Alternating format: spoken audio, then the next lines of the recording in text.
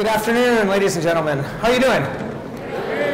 All right. Sunday Upbeat Live audiences are the most enthusiastic, so I, I am really uh, excited to be here uh, to help guide you through this amazing concert you're going to hear this afternoon with the Vaughan Williams Second Symphony and the Brahms Second Piano Concerto. My name is Russell Steinberg, and uh, I do a lot of these Upbeat Lives. I'm a composer, and I also conduct the Los Angeles Youth Orchestra and teach at various places like UCLA. And uh, my interest here is that I'm like you. I sit, in the, I sit in the audience listening to this music, and I just want to be closer to it. And I always felt program notes sometimes get you, take you farther away from the experience. So what we try and do here is get you into the music so that you're just all primed and you're following it as closely as the musicians on stage, which is not is actually not impossible to do. It's intended to be followed that way know, the musicians are telling me how much they're enjoying the Vaughan Williams Symphony. And, the, and all of them have said this is not a work that they know very well. This is a work that you say, you know, in Britain is, is extremely well known. I wonder if you could, let me see, for a show of hands, how many of you are hearing this, the Second Symphony of Vaughan Williams for the first time tonight, today? Excellent. What a treat you have in store. the colonies, you know, what are we going to do?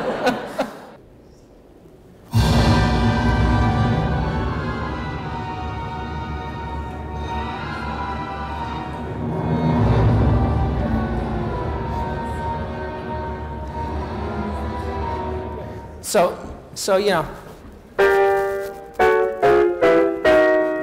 and had, had he listened to Andrew Lloyd Webber, right? so, so that's, that, that's, the, that's one way you're gonna, this piece is going to be very familiar to you. Brahms. We all know the Brahms. How many of you have heard the Brahms concerto more than 50 times? Look at the hands. Look at the hands. Like I said, would you like to come up and talk about the Brahms for me? This piece is so extraordinary. And so what I'd like to do is I'd like to talk to you about it on a different level than just kind of describing how the piece goes, because I think most of you know how it goes. Um, and what I'd like to talk about is how interesting it is in the way it unfolds in a very different way than Beethoven unfolds and other concertos unfold.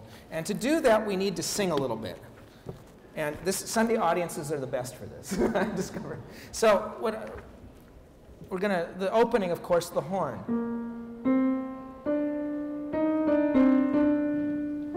So let's do that together. Hey. F. La, la, la.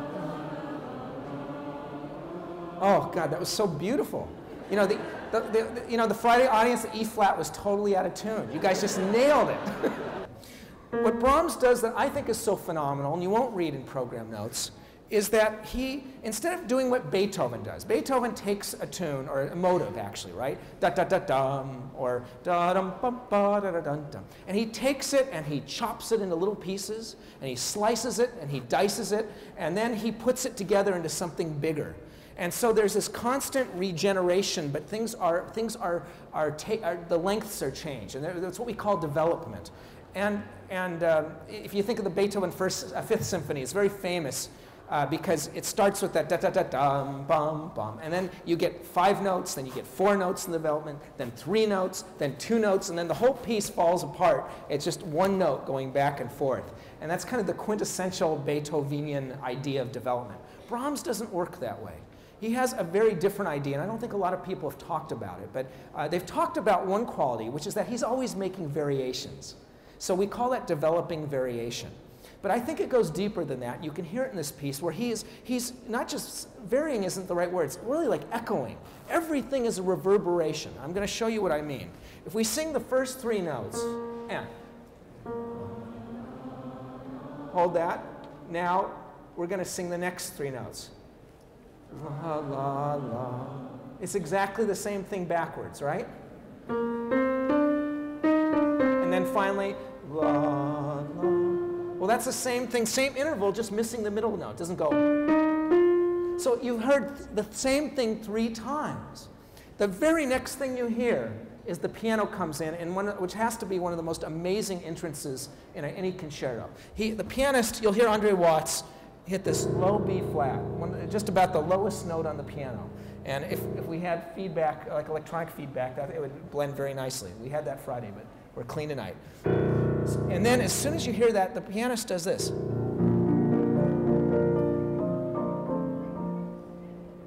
Making this beautiful echo of an echo of an echo. Uh, for, for instance, think of the second movement. That's how it begins. Uh, the piano starts. Then the orchestra comes in.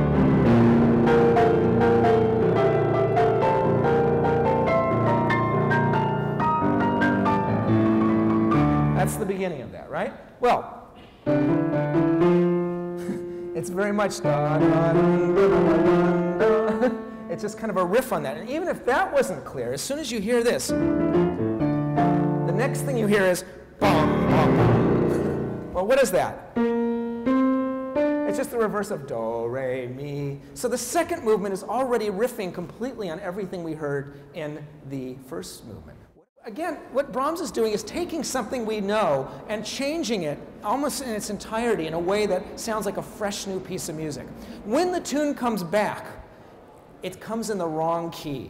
And that is a great moment. It comes in F sharp major, it's supposed to be in B flat, we know it's supposed to be in B flat, it's in the wrong key, and because of that, it feels incredibly distant. And there is an adjustment that they have to make, and that moment is one of my favorite places in the concerto. I want to play that for you.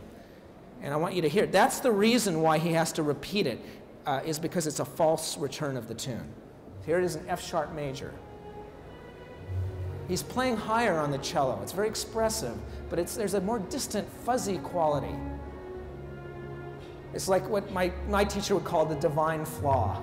he made the mistake in the wrong key. So he starts to go on, and then this correction right here.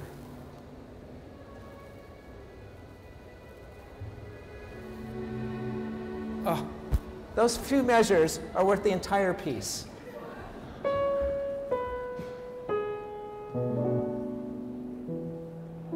and that with that, it allows him to change keys. He uses a minor chord to get back to the home key. Here's the minor chord. And this gets us back home. And now we get the tune in the right key. Ah. it is the great moment. Those are the things you listen for in this piece that go through, through the, and this is why you can listen to this piece hundreds of times and get so excited by it. By it. And uh, I remember Brahms was very upset at the premiere because some lady came up to him and said, Oh, Miss, uh, Herr Brahms, how is it that you write such pretty melodies all the time in your slow movements? And he just wanted to throttle her because I'm sure he, she had no idea the work that goes into this, you know, to, to make all these things come together. But as we listen to it more, we make these connections. So I've tried to give you this, this, this metaphor of echoing because I think it will change the way you hear the piece. If you find, uh, if you want to make comments or whatever, feel free to respond on my website. I get some amazing comments from all of you. And I really hope you, you enjoy this concert. Two very different pieces, but some of the most satisfying music you'll hear. Thank you so much for singing with me. Enjoy the concert.